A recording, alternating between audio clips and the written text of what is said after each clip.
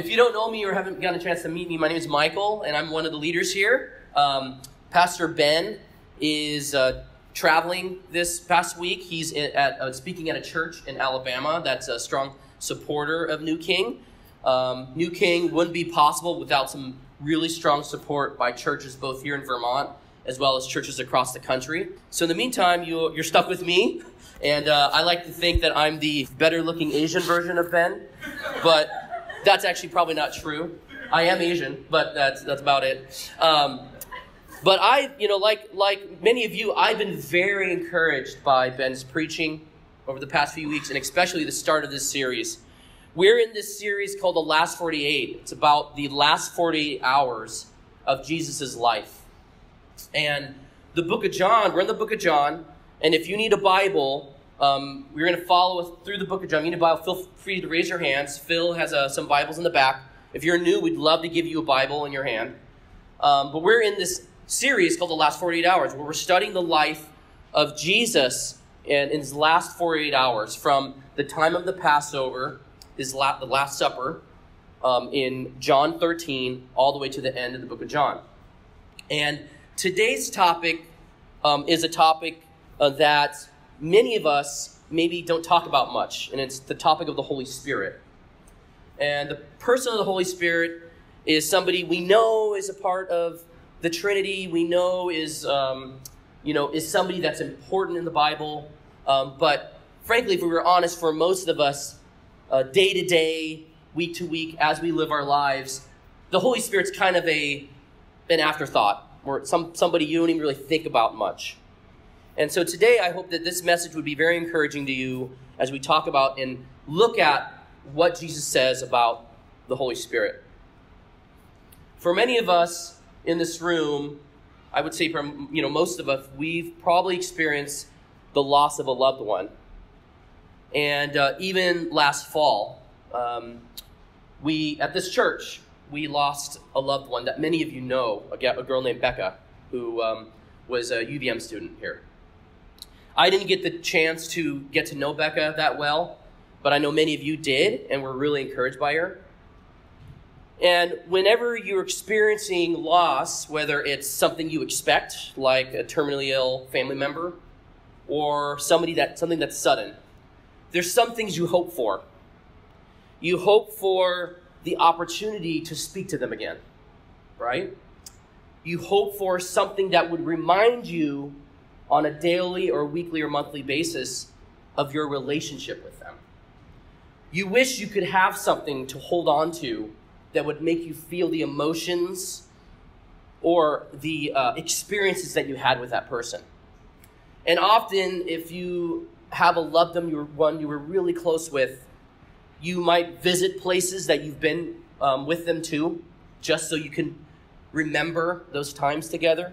You might look at pictures in your on your phone or that you've printed, um, just to remind yourself what they looked like. Um, if you're a family if it's a family member, you may go to a closet and smell some of their clothes still hanging there, just to smell the scent of, of, of them just so that you can have that familiarity with them. The closest person to me that's ever passed away so far in my life was my father in law. It was the man who raised my wife, Shannon. And uh, I remember getting to know him the first few years um, of, of us when we were dating and engaged. He was a rough guy, blue collar. He drove. He was a long haul trucker. He uh, delivered wood and um, it, it was a, definitely a, a relationship from far because uh, we, we weren't living in Vermont at the time. Uh, I remember the day we heard that he got lung cancer, and uh, he would only have about six months to live. And so we were living in Seattle at the time, and we would fly from Seattle with our then uh, two year old son, Aiden, for Aiden to get to know him for the, for the last few months of his life. I remember being at his deathbed and reading the Psalms over him as he was passing away and the moment he finally breathed his last breath. And at, at that time, I didn't know him that well. I, I, I, just, I just was newly married to Shannon. We had our first child. I didn't get to know him that deeply. But something inside me, as he was approaching the end of his life, said, I wish I had something that I could use to let my kids know the man that raised my wife. We all have that experience. We all, all can relate to that. When we, when we watch a movie and we see in a movie you, um, the people visiting the grave of a loved one and, and talking to the person that's passed away, we all can relate to that because we all wish we could experience that person another time at another moment. Well, that's the backdrop of the last 48 hours with Jesus. The disciples, imagine the disciples have spent three years with this amazing person, amazing man the most amazing person you can think of, if you could think of the, the closest person you've ever lost, this is a hundred times over. You've spent three years with this amazing man who's literally transformed your world. He's taught you everything he knows about his Father God. He's taught you everything he knows about the Bible. He's taught you everything he knows about how to treat people, and he showed you he showed you how to love people. He showed you how to look at people who were outcast by society. He showed you how to laugh and how to party. He changed water into wine just so the party could continue. Right? He healed people. He, come on, somebody. Yeah, exactly. He healed people. He healed sick people. He healed lame people.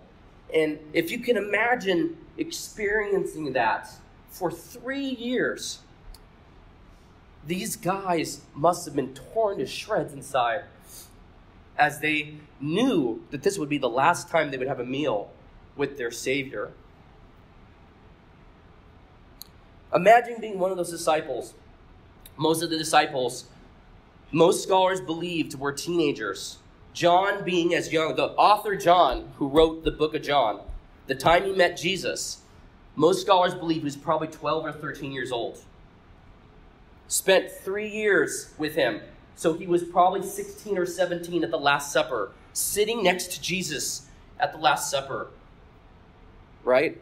Looking at this man who was in his 30s, looking at him as um, a father figure, as a teacher, and ex- realizing, oh, Matt, wow, this man is going to go away. And so that's the backdrop that we enter into. It's a backdrop that, fortunately, John wrote being the person that was literally sitting next to Jesus, he wrote by hand uh, in detail for us and spent s- about seven to eight chapters describing these, these last 48 hours. That's the backdrop we enter into. They, I could only imagine they wanted something to be different, right? They didn't want Jesus to go.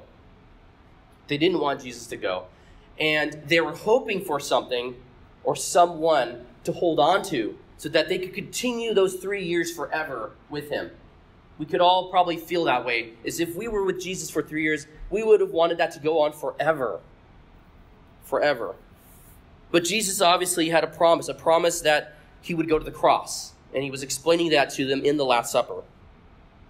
And today, we're going to learn about this person called the Helper that Jesus promised to send to the disciples. And this helper would be the best gift he could ever send to them. The best gift somebody who was passing away, who was going to go away, would ever be able to give to somebody.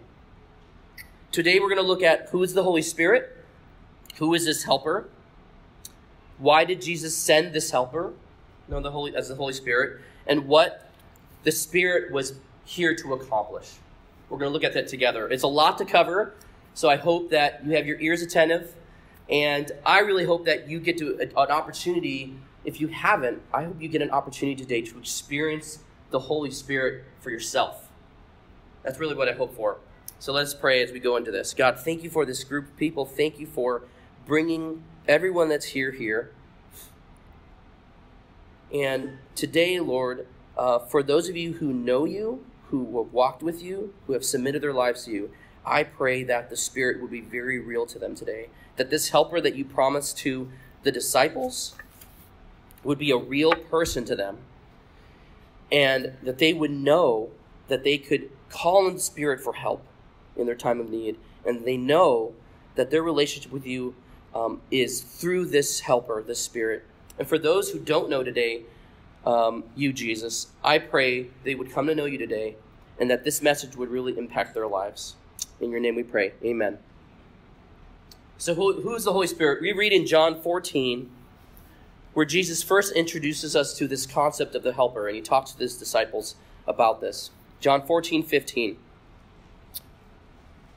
John 14, 15. If you love me, you will keep my commandments.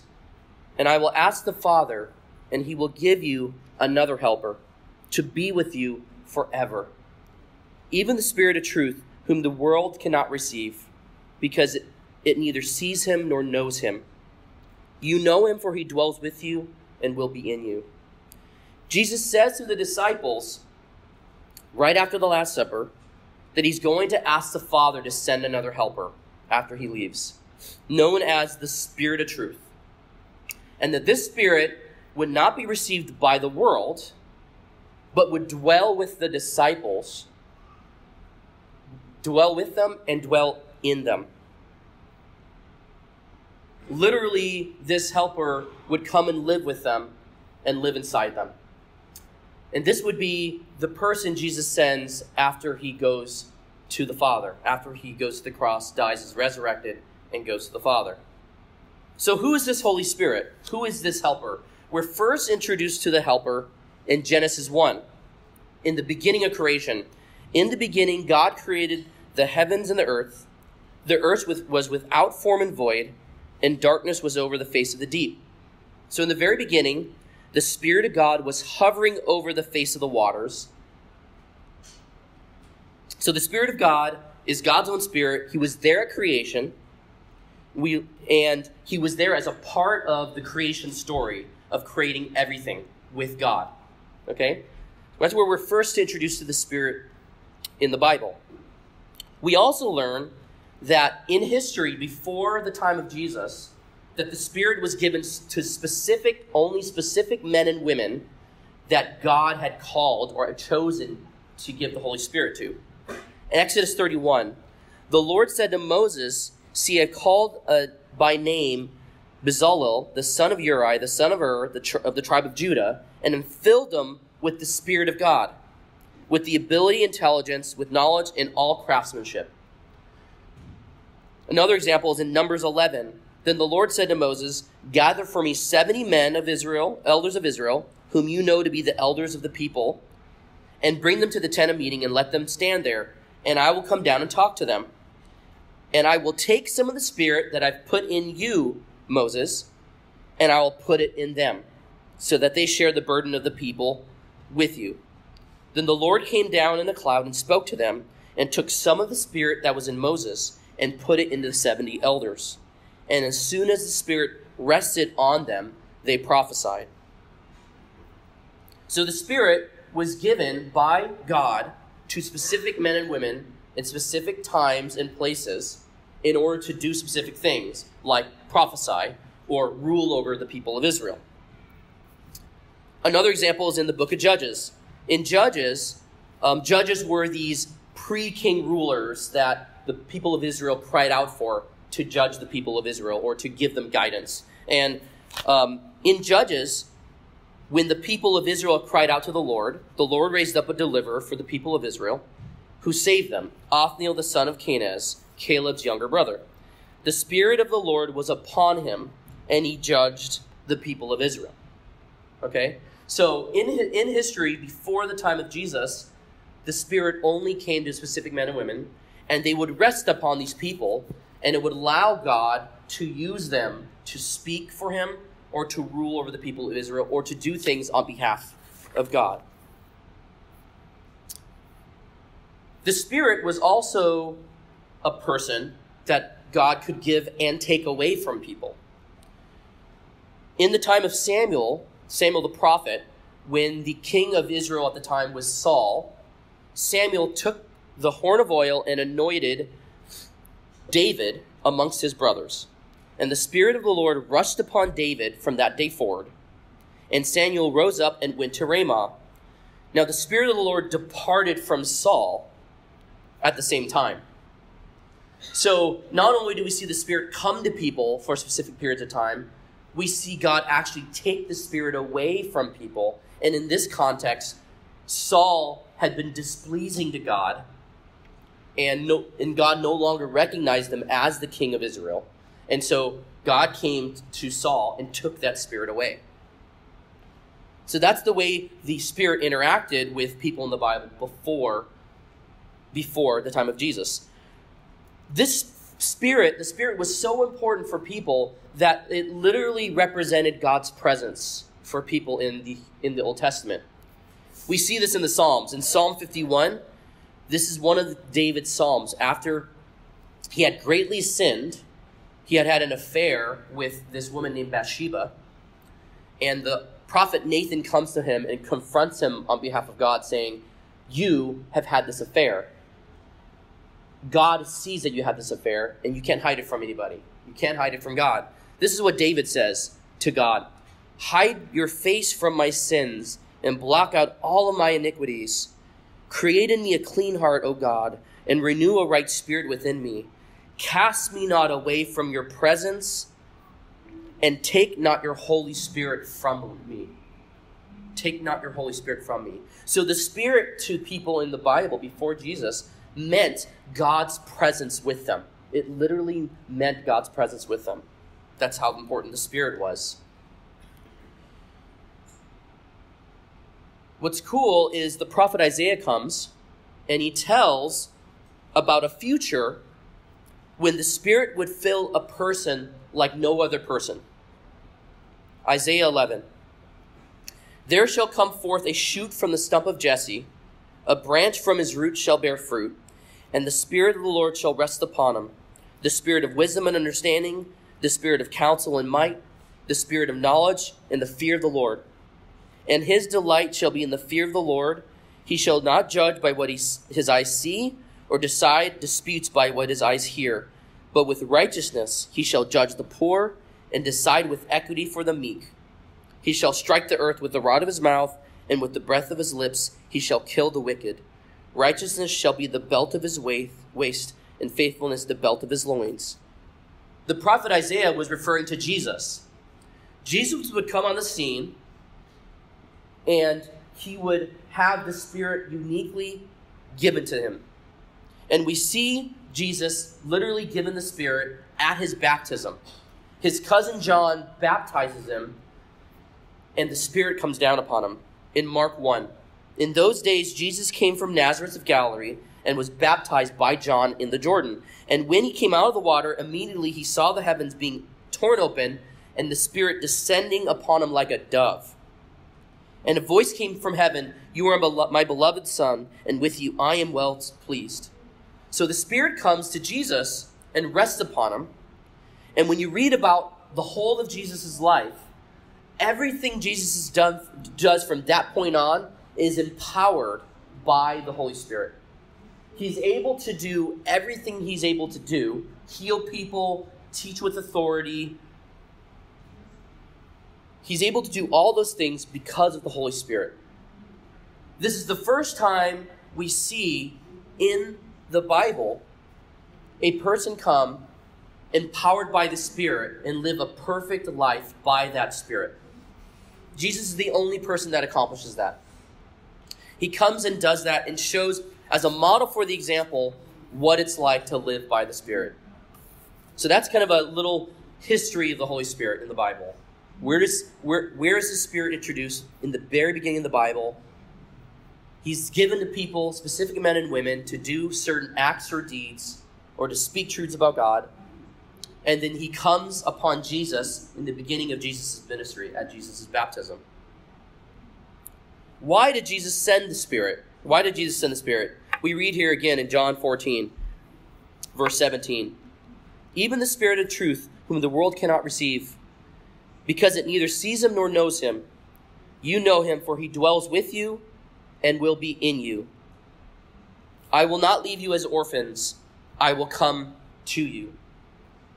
The first reason Jesus sends the Spirit was to be with the disciples, right? We talked about how he was going to go and the disciples were going to the disciples were going to feel this pain of his loss and they wanted a remembrance of him. And Jesus knew that they would be left alone, feeling like orphans. Right? These guys were most of these guys were teenagers. They'd spent three years of their lives with him. They had slept with him on the ground outside. They had ate with him, partied with him, laughed with him, cried with him. And now he was going to go away. And so Jesus brings the Spirit to live with them and live in them. And he would be the perfect gift because the disciples could then carry on their relationship with Jesus through the Spirit. The Spirit literally represented Jesus' own spirit. It's as, it's as if Jesus said, You're going to have me and everything about me inside you, and I'm going to come and live inside you.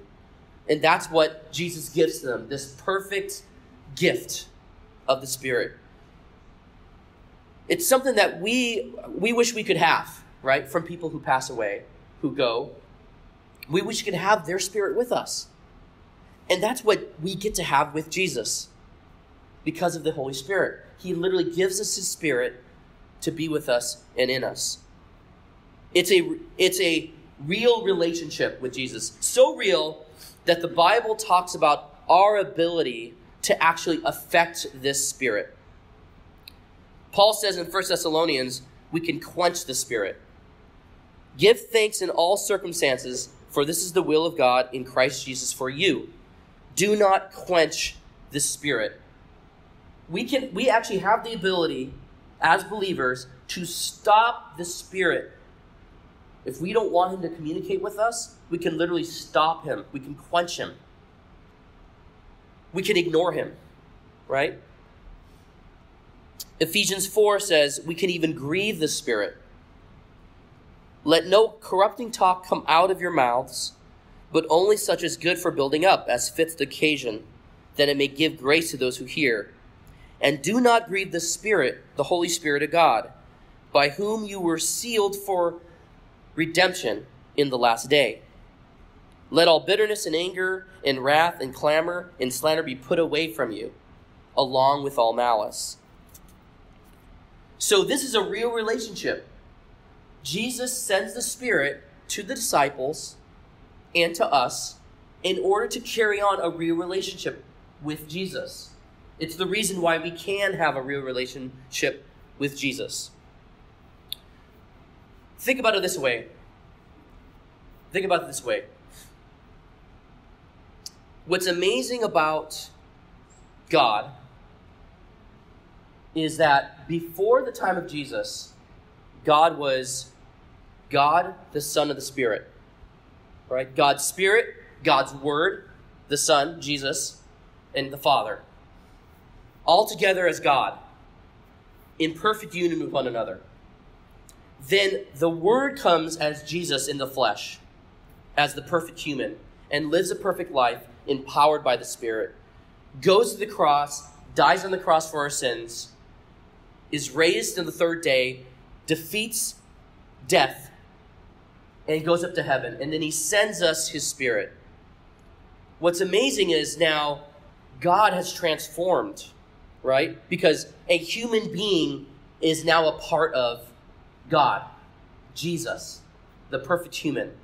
A human being who lived the perfect life as God on here on earth is now a part of the Godhead. And so we, through the Spirit, have this relationship with God in a perfect union. And the Spirit allows us to have that perfect union with Him. When we pray to God, Unlike the times before Jesus, when we pray now, we literally have a direct line to the Father through the Spirit. When we pray, we literally can speak directly to Him. Before the time of Jesus, only these men and women who had the Spirit were given that ability. And then everybody else had to go through these prophets and priests in the temple. That's how they were able to speak to God. Today, with the Spirit, we're able to have this direct line of communication with Him. You can go to God directly and speak to Him. You don't have to have an advocate between you and God. Jesus already is that advocate. Through the Spirit, He's able to do that. That's amazing. That's amazing. The other reason why Jesus sends the Spirit is he sends the Spirit to remind the disciples of his teachings. Let's go back to John. John 14, verse 25. These things I've spoken to you while I am still with you. But the Helper, the Holy Spirit, whom the Father will send in my name, he will teach you all things and bring to remembrance all that I have said to you. Peace I leave with you, my peace I give to you. Not as the world gives, do I give to you. Let not your hearts be troubled, neither let them be afraid. So Jesus not only sends the Spirit in order to have a continued relationship with them, but he sends the Spirit literally to help them remember the teachings he gave them for the past three years. Right? Now, why is this important? Well, at the time of Jesus, the printing press hadn't been developed, right? And most of these disciples were illiterate men. Most of them didn't didn't really even know how to read and write. So all the only way they learned was for, through oral learning. They listened to his teachings. Well, if you ever try to remember three years worth of teachings, I, I barely can remember last week's you know teachings. For those of you students, the reason you take notes is so you can remember. Well, at this time, they had to remember three years worth of teachings in order to pass it down to the people they would then teach. Jesus also knew that he had, was going to prepare these 12 guys to be the, the start of the church, to birth the church, right? And to be the ones to pass down his teachings. The best example, the most amazing example we have that this actually happened, that the Holy Spirit came and actually worked in these guys is two of the Gospels the Gospel of John and the Gospel of Matthew. Those were written by two disciples that were literally at the Last Supper, that were literally in the passage that we're reading. They heard these teachings firsthand. And so the Spirit comes and gives them remembrance so that they could remember the word for word the teachings of Jesus. So that you and I in the future could rely on these words and he and read firsthand and be there in their experience. That's amazing, right? The Bible is in existence because the Spirit came down and fulfilled the promise that Jesus proclaimed. The book you're holding.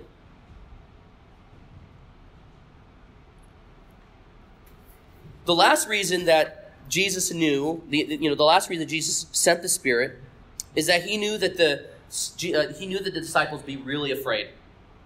And he was going to ask them to do something after he left that was be really hard, and that was to go and make other disciples.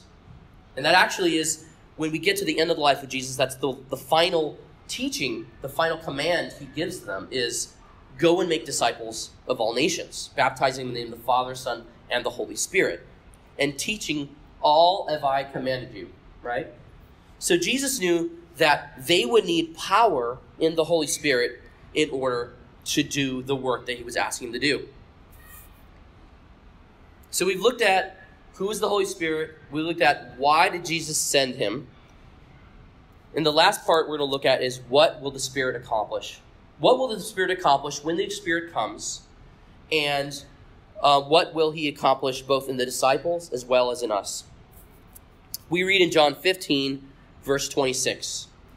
John 15, verse 26. But when the Helper comes, whom I will send to you from the Father, the Spirit of truth, who proceeds from the Father, he will bear witness about me. And you also will bear witness, because you have been with me from the beginning. I have said these things to you to keep you from falling away. They will put you out of the synagogues. Indeed, the hour is coming when whoever kills you will think he is offering service to God. And they will do these things because they have not known the Father nor me. So, Jesus tells us that the, one of the first things that G, the Spirit will accomplish when He comes is that He will bear witness about Jesus. He will bear witness about Jesus. That is the first and primary thing that, G, that the Spirit will do when the Spirit comes. What's amazing about the Bible is that we actually can literally read about the first time the Spirit then comes in the book of Acts. After Jesus is raised from the dead, he's resurrected from the dead, he spends 40 days with the disciples, 40 more days with the disciples. In those 40 days, the disciples have some more meals with him, and they also get some final teachings from him. And right before he goes up into heaven, Jesus says to the disciples to go to Jerusalem to wait for the Holy Spirit to come. And he says, Wait in Jerusalem for the power promised by the Father and by me that will come to you. Wait in Jerusalem. So the disciples go to Jerusalem. They wait in this upper room, and they pray, and they pray, they're praying together, and the Holy Spirit comes. And this is a description of the Holy Spirit coming to the disciples for the first time in Acts 2, Acts chapter 2. When the day of Pentecost arrived, they, the disciples, were all together in one place. And suddenly there came from heaven a sound like a mighty rushing wind, and it filled the entire house where they were sitting. And divided tongues of fire appeared to them and rested on each of them. They were all filled with the Spirit and began to speak in other tongues and languages as the Spirit gave them utterance. Now in Jerusalem were dwelling Jews, devout men from every nation under heaven.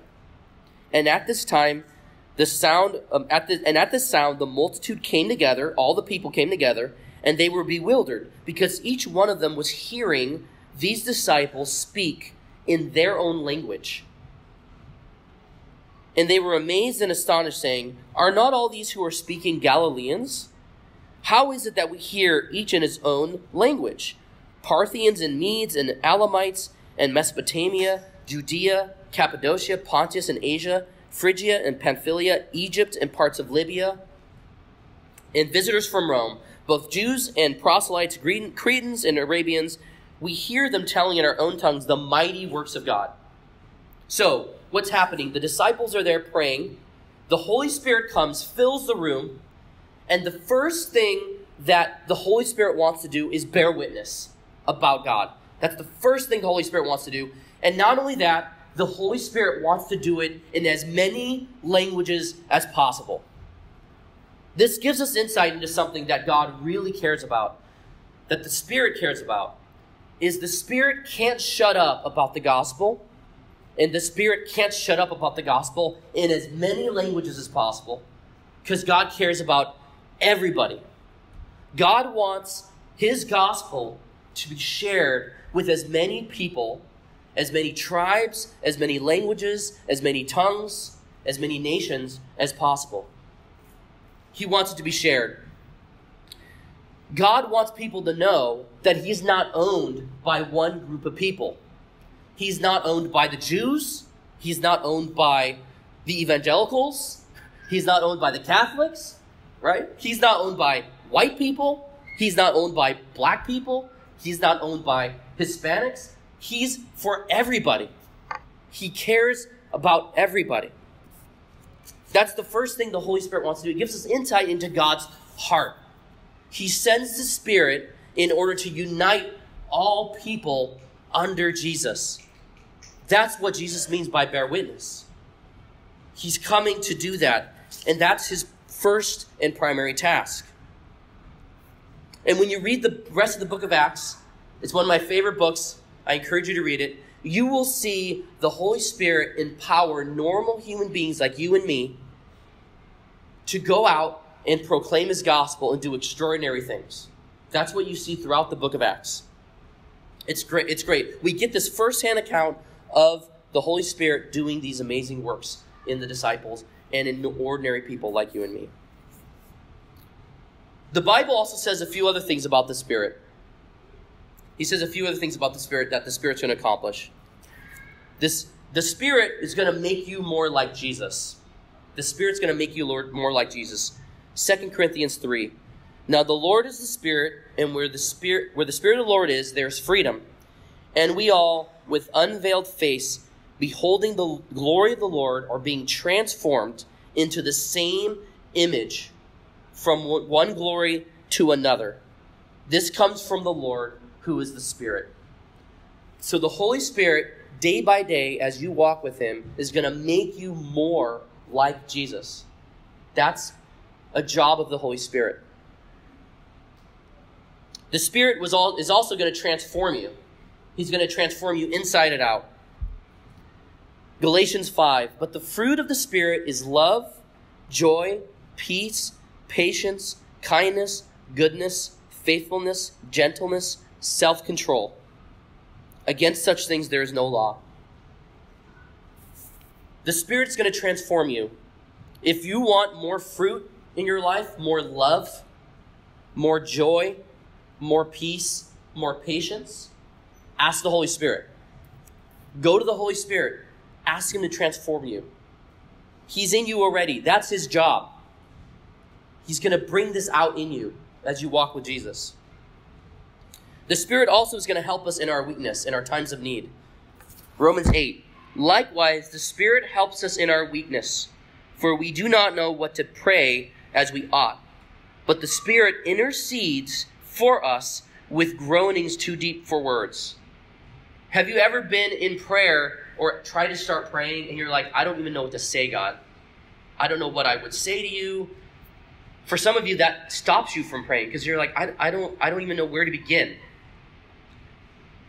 What's amazing about the Spirit is when you're there before God in silence without any words to say, the Spirit is literally saying words for you on your behalf. He's groaning for you to God, interceding for you. He's speaking to the Father for you, saying, Hey, hey, Father, this is your son, this is your daughter. This is the person you saved. This is a person that you put with Jesus on the cross. This is a person that's sins have been paid for and is cleansed. The Spirit is saying these words to your Father for you so that you don't have to have the perfect words. I know for some of you, praying is really challenging. You don't have to have the perfect words because the Spirit has those perfect words for you. You can just go to the Father and let the Spirit pray for you, speak for you. The Spirit also seals you in Jesus and is the guarantee of your salvation. The Spirit seals you in Jesus is in the guarantee of your salvation. Ephesians 1. In him, Jesus, also, when you heard the word of truth, the gospel of salvation, and believed in him, you were sealed with the promised Holy Spirit, who is the guarantee of our inheritance until we acquire possession of the inheritance to the praise of his glory. The reason why we can be confident when we place our faith and trust in Jesus that that is a perfected relationship and in God's eyes that we're his sons and daughters is because when that happens the spirit comes and he literally seals us as a down payment before God.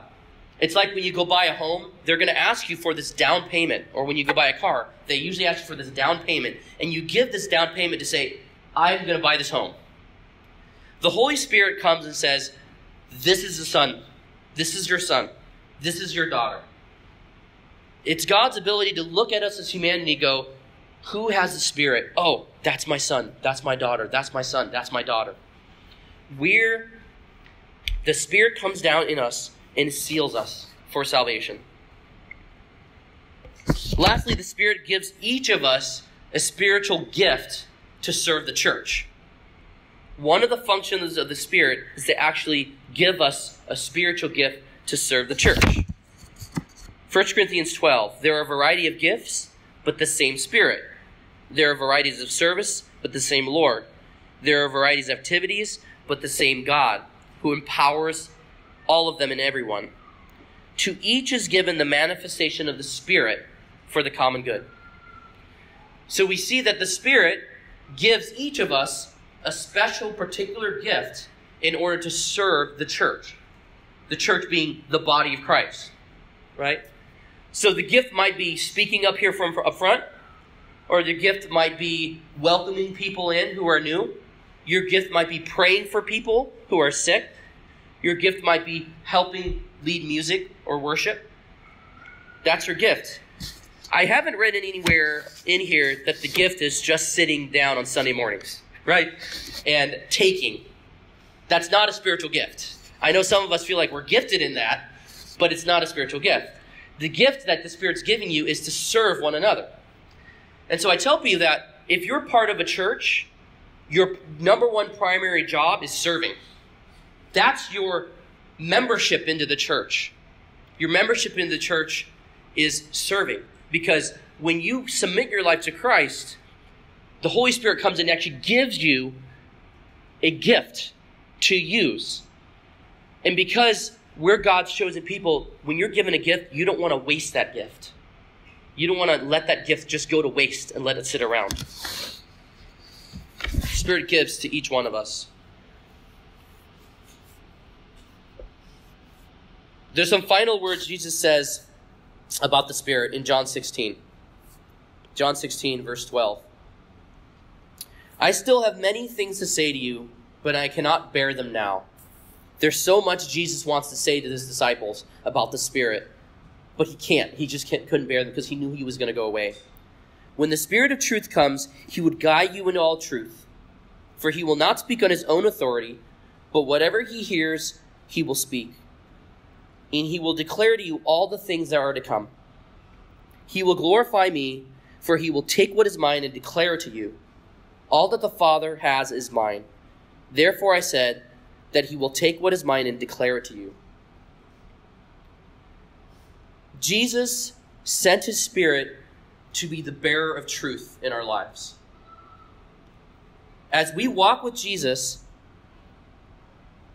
the Spirit will come and remind you about what's true and what's a lie in your life.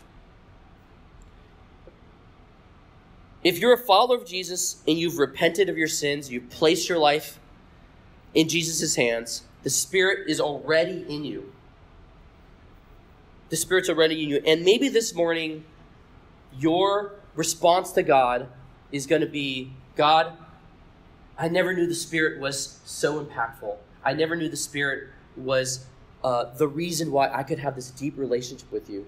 I never knew that I could call on the Spirit to advocate for me in times of need. I didn't know that the Spirit empowered me to serve you. So maybe your response this morning is repentance. Maybe your response this morning is to say to God, God, I've been walking with you, but I've known very little about the Spirit. I want to repent for that, and I want to start listening. I want to start depending on this Spirit to empower me in my walk with you. For those of you who aren't a follower of Jesus today, Jesus is extending you today an invitation to receive Him, and by receiving Him, you'll receive His Spirit. Jesus wants to have a relationship with you, a real one, and the Holy Spirit allows Him to do that. The only way to do that is if you come and submit yourself this morning to Jesus.